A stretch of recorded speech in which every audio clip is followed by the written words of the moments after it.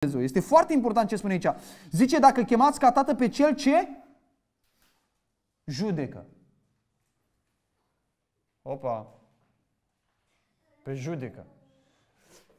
Acesta cred că este paradoxul sănătos care trebuie să fie mintea noastră când ne raportăm la Dumnezeu. Dacă vedeți vreo biserică deșanțată astăzi, deșanțată așa, neatentă cu Dumnezeu, neatentă în închinare, neatentă în predicare, neatentă în, în orice, este datorită relației greșite pe care o are cu Dumnezeu. Datorită portretului greșit pe care îl are despre Dumnezeu. O să vedeți că foarte multe biserici seamănă cu bisericile adevărate că vorbesc despre harul lui Dumnezeu nemărginit. Mila lui Dumnezeu, îndurarea lui Dumnezeu, dragostea lui Dumnezeu. Mă cotea ceva de pe acolo. Ce nu le-a plăcut? Tată care judecă. Asta e cam o contradicție în termeni, nu? Bă, noi credem în harul nemărginit. Tată care judecă. Uite că tata mai face și disciplină.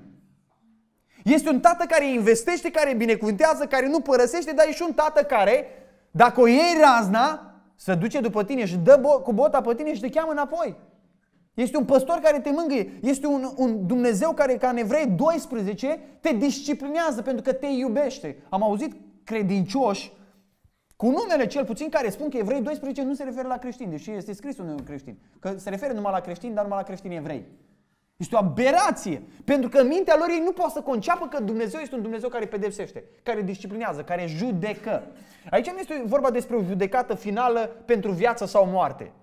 Ci este vorba despre o judecată pe care o face un tată. Un tată nu judecă fiul să-l condoamne la moarte. Da? Deci contextul ți explică că se referă la o judecată pe care o face un tată pentru fiul lui. O judecată de tată-fiu, nu este o judecată a destinului veșnic. Nu este vorba despre asta aici. Dar este o judecată pe care o face Tatăl nostru. Este o răsplătire pe care o face Tatăl nostru. Dacă chemați ca Tată pe Cel ce judecă. Și întrebarea pentru noi este asta. Putem noi să ne imaginăm pe Tatăl nostru ca unul care ne judecă? Dacă nu avem paradoxul ăsta în minte, El e și Tată care îți dă ideea de purtare de grijă, de intimitate, de afecțiune. Dacă nu avem paradoxul, El e și Tată, dar este și judecător. Paradoxul ăsta ne ajută să ne comportăm cu respect și cu sfială. Repet, când vezi o biserică care dănțuiește în numele Domnului, este o biserică care nu are sfială, care n-a înțeles paradoxul ăsta.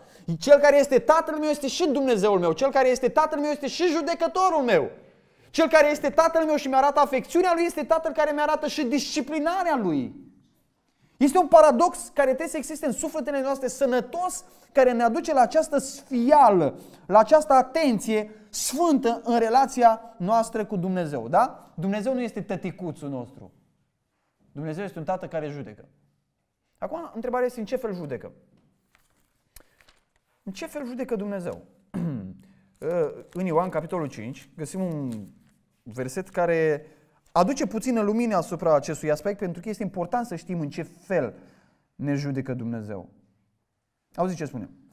Ioan 5 cu 24. Adevărat, adevărat vă spun că cine ascultă cuvintele mele și crede în Cel ce m-a trimis, are, nu va avea, are viața veșnică și nu vine la... Deci avem o judecată la care nu venim. Înseamnă că textul ăsta vorbește despre o judecată la care venim, dar care nu e aceeași cu asta din Ioan 5 cu 24, că nu se contrazice Biblia. Deci nu se contrazice Biblia, ne putem contrazice noi, dar Biblia nu se contrazice. Ioan 5 cu 24 spune că nu venim la judecată, 1 Petru spune că Dumnezeu ne judecă. Asta înseamnă că acolo e o judecată și în aia altă parte e altă judecată, altfel de judecată. Judecata din Ioan 5 cu, 20 și, uh, cu 24 este o judecată de viață sau moarte. Da? Tu mergi în viață, tu mergi la moarte. Crezi, nu te duci în iad, nu uh, crezi, nu te duci în iad, ci te duci în cer, nu crezi, te duci în iad. Este o judecată a vieții și a morții noastre, da? Judecata din 1 Petru nu este felul ăsta de judecată. Vă mai citesc un pasaj ca să fim încredințați de lucrul acesta. 1 Corinteni, capitolul 11, versetul 31 și 32. Ia ascultați. Zice așa. Din pricina aceasta sunt între voi mulți neputincioși și bolnavi și nu puțin dorm. Dacă ne-am judecat singuri, N-am fi judecați. Ce judecat aici? O judecată de disciplină. Da? Sunt neputincioși, bolnavi și dorm. Dumnezeu a început să dea cu secerea în ei pe acolo. Că eu apucat nebunia. Și să purtau nebunește și luau lucrurile de apucat la cina Domnului. Da? Și Dumnezeu a început să judece, dar judeca pe pământ. Și auziți ce spune? Dar când suntem judecați, suntem pedepsiți ca să nu fim osândiți odată cu lumea. Deci există o judecată pe care Dumnezeu o face acum și aici pentru credincioși și o judecată care o face necredincioșilor. Sau numită o sândă odată cu lumea, judecată odată cu lumea. Așa că ne întoarcem la 1 Petru și vedem că judecata despre care vorbește cuvântul lui Dumnezeu aici nu este o judecată a finalului, da? O judecată care are în vedere dacă suntem mântuiți sau nu suntem mântuiți. Și este o judecată uh, de o altă natură. Vă mai citesc un verset.